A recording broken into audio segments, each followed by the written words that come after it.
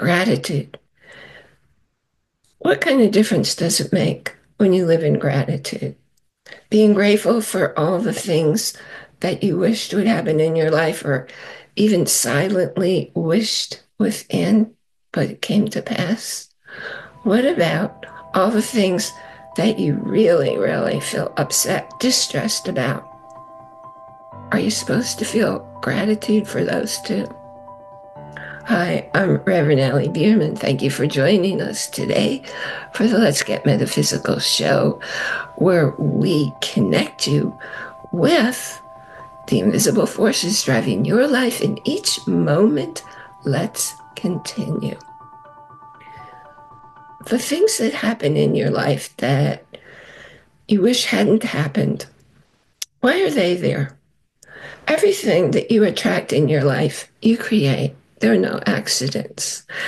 And when the things come into your life that you really wish didn't happen, well, what I do for myself and what I do from working with a client is look at what is it that's missing from my life that I don't know is missing from my life. That when I bring that into my world, then I feel more complete because it fills in pieces that I didn't even know were disconnected or were missing. Now, many people recite gratitude as affirmations. And then whose affirmations are they? And are they the same day after day after day because they're trying to create a habit? Because, and the numbers vary from 21 days to I think it's 90 days, and all the steps in between. People are trying to make a habit of speaking other people's desires, and usually not in a way the affirmations will work. By the way, many years ago, I just got too frustrated. So I created a CD of a couple calls that I did with people I was working with at the time, all about how to speak affirmations that actually work. Imagine that. When you know how to speak your affirmations, they actually work. And if you look in the show notes, you'll see how you can get hold of them for yourself. But then looking back at, well, I don't want to speak somebody else's affirmations. I'm not coming from their heart. They don't know what's in my experience. When I had the first brain injury, and I've had a number of brain injuries, and I'll tell you what, no such thing in the world as a minor brain injury. I knew to look for the gifts in my life. And in the rehab center, the psychologist said, you know, the only people I've ever seen heal are the people who look for the gifts in the injury. So part of looking for the gifts was feeling happy and grateful for things. And in fact, I created the habit of happiness by creating the Happy Share movement, which you can find both on Facebook and as a site of its own. And check those links in the show notes. So when I go through my morning rituals, and that includes blessings, it includes what I feel happy and grateful for. That's the last thing I do in my morning ritual routine is I speak 10 things, 10, for which I feel happy and grateful. There are things I feel happy and grateful for in that moment, which means they change from day to day. Unlike affirmations, especially somebody else's affirmations that are repeated. Well, if you're repeating them, do they have the same impact? Because they're not coming from your heart. So by listing 10 things for which I feel happy and grateful every morning. What does that do? It sets my day up for all these good feelings. It sets my frame of mind into a place for looking for things to continue to feel happy and grateful. And as I said, things don't have to be all the way you wish they'd be. I remember very, very many years, decades ago, I used to think I had this goal of where I wanted to go in my life. And every time something happened, it was usually a family thing. It took me away from the goal. And I call them detours. You know what? You never have a detour in your life. Never, never have a detour in your life. Everything that happens in your life is meant for you to grow in a direction maybe you're not aware of. So when I discovered that truth, I realized, oh, there is never a detour in my life. There's a path I would not have chosen to take consciously. But everything that I learned by being on the path I didn't know I was going to be on was needed in my world to help me move through my life in a way that got me to the direction I wasn't at first knowing I wanted to go. So when you're looking for things that appear to be, oh, why did that happen to me? First of all, nothing happens to you. It doesn't even happen for you. It happens because of you. You're creating it with the aid of the universe or God or whatever term you use for the energies that are co creating your world. You get to take the journey you weren't consciously choosing, but that changed your whole world. Here's a really big example that you might uh, take issue with.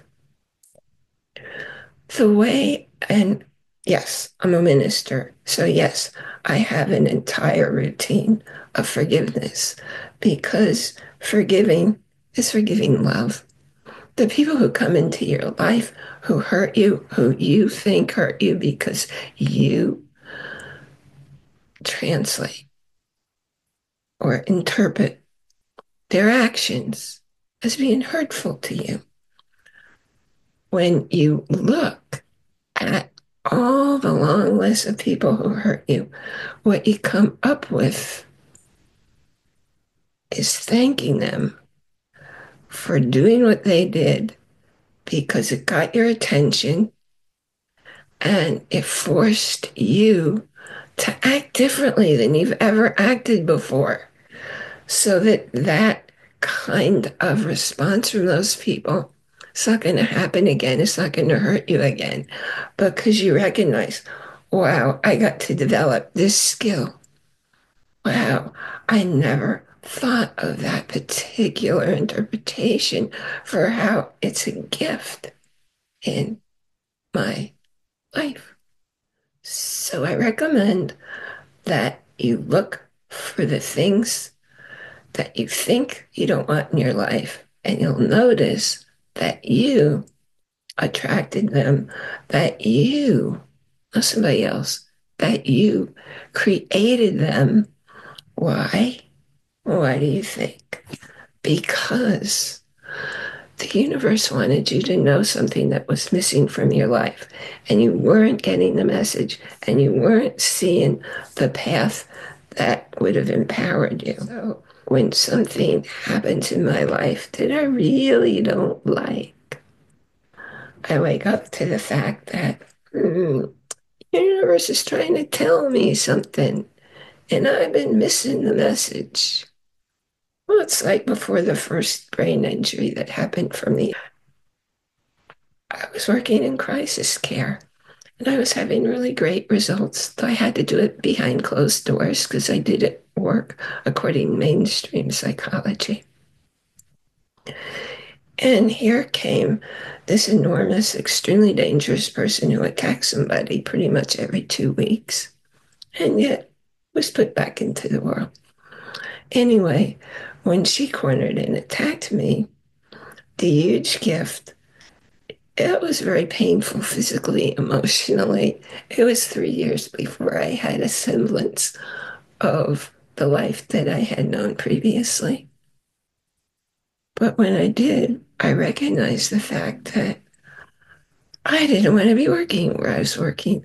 I didn't want to be working with the population I was working. I didn't want to be working with the coworkers I was working with or the unsafe facility where I was working. And I knew that, and I knew that, and I knew that. And I didn't take any steps to leave there. So here comes the universe with hitting me over the head with a two by four, which it actually was, because her hand was bigger than my head. And she was incredibly strong. Anyway, it freed me to jump into the world where I really belong. And that's the world of energy. And I've been changing lives for the last mm, somewhere around 30 years because the only way that I got to heal was by working with people who already worked in energy healing. And I studied what they did, and I studied lots and lots of people. And everything that worked for me, I pulled the pieces together. The universe downloaded the modality that is my own and that I used with people today to change their lives. And they don't have to talk to me and tell me anything because I know how to read their energy now. So everything happens perfectly for a beautiful and divine reason. Everything, including the stuff that looks really cruddy. So I do the affirmations in the morning, and that sets my energy for the day. And then, last thing before going to sleep at night, I list 10 things for which I feel happy and grateful in that moment. In other words, things that happened during that day. And what does that do? That sets up my energy for a very peaceful, empowering sleep. So, speaking, I'm happy and grateful in the morning and at night. And if I get really stressed, upset during the day, I'll just, in that moment, I will speak 10 things for which I feel happy and grateful in that moment. I always do each thing in that moment because what happened in the past will happen in the future. They don't exist anymore. All that exists is that moment. Thank you so much for joining us again. I am Reverend Ali Bierman. This is Let's Get Metaphysical show. And I have a different kind of book I'm recommending today. And darn it, isn't available in audio yet. I'm going to make that recommendation though. It's called If Naturopaths Are Quacks, Then I Must Be a Duck. And this is one of the most phenomenal books that I've ever read by one of the most brilliant people I've ever known. She has people coming to her from all over the world. Literally, people will fly halfway around the world to see her. People from every single state in the US, from 12 countries around the world. If you have a problem nobody's been able to help you with, she does do telehealth. So you don't have to make the trip. It's just when you do, she gets to use her special equipment. So go ahead and check out the link for that. And as I said, it's not available in Audible. However, Audible still has that special gift for you. It's a whole 30 day free trial. Go and choose the audio book of your choice. And I've certainly listed lots and lots of recommendations for where you are in your life at the time. But whatever topic you're into, go and look around. That's why you have a whole month. And then download the audiobook of your choice. Now, if you're looking for the affirmations, go ahead and again check the show notes. Take care of yourself. I mean, really take care of yourself because no one in the world can take as good care of you as you. And if you're hurting physically, emotionally, confused spiritually, you may be suffering. Know that struggle is optional. And when you contact me, I will work with you to clear out the struggle, to stop the hurting, and to experience life as a vibrant, beautiful world, taking the so called good and the so called bad, and take this bit of advice from Bob Proctor. Because energy's balanced. And what he taught me was if anything's a little bit good, it's also a little bit bad. If it's a lot bad, it's also a lot good. And it's how you look at it that determines which it is for you. You get to choose everything and anything in your life. You get to choose how you want to see it, how you want to take it in and use it. Remember to enjoy. That's capital I N, capital J O Y, every moment. Because nothing, nothing, nothing, nothing in your world ever happens outside of you. Which begs the question does a world even exist outside of what's in here? And I look forward to being here with you next time.